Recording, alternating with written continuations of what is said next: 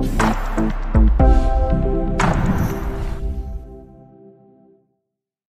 everyone, how are you doing today? I'm here with a different video. Uh, in today's video, I have a Lenovo Mini PC. This one is a ThinkCentre. And in this video, I'm going to show you guys how to open it up and how to repaste to your own service for these PCs. So in this particular one, I'm going to show you guys how you open this one. So yours might be a little bit different, but it's the same logic. So what you want to do is first grab a screwdriver set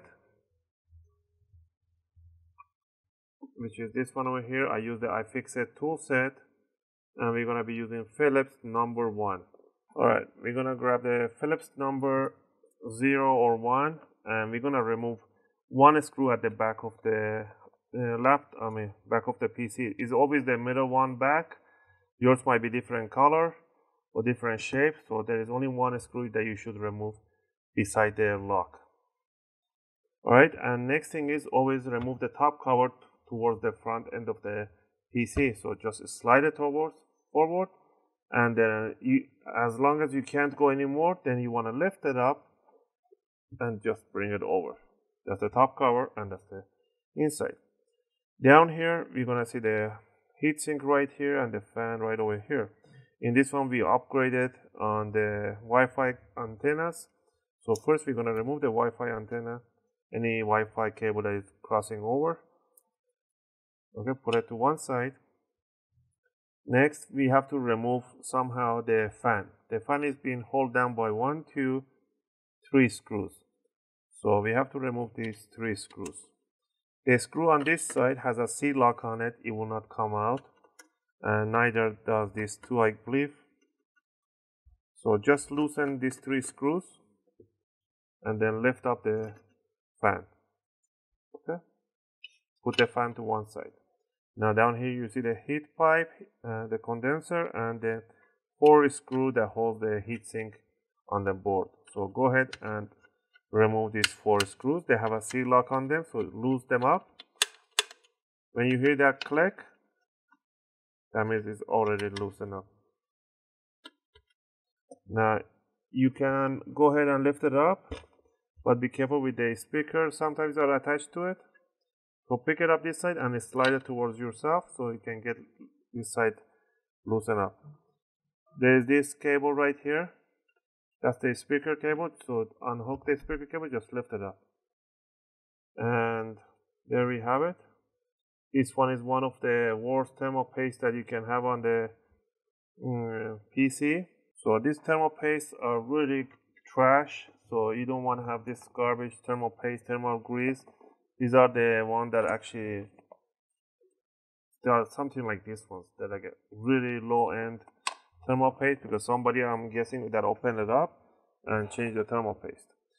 To clean it up you need a working towel and you need an alcohol. Go ahead and spray with an alcohol. And now you want to just wipe it. And the heatsink too. You want to remove all this old thermal paste here honestly I don't know who puts this type of thermal paste on this one. It shouldn't be called not even thermal it's a toothpaste cut almost. Okay once we have it really nicely cleaned up you want to grab your thermal paste a proper thermal paste. I use an Arctic MX4 these are one of the good brands. You can go even better. You can put a, a thermal grizzly thermal paste these are one of the highest one and the second highest one. These are one of the two top thermal paste. So what you want to do you can put a little uh, drop in the middle or you can just do a cross the way that you like it. I'm gonna do a tiny cross. Next you want to grab the what's called the, uh, the speaker plug in the speaker cable first. Then you want to rotate this one. First put the heatsink side under this case. Bring it over. And now you want to bring the heatsink evenly over. And you don't want to lift it up. You want to first cross stitch them always. Cross screw them. So screw this side a little bit. Go back on this end. Do a little bit that one. Go on the other side. Do a little bit. And you want to continue this until you get it all the way down so with two rounds it should be locking down in place. There we go. Now what you want to do you want to grab the fan bring it over place it in right there put the screw screw down the fan.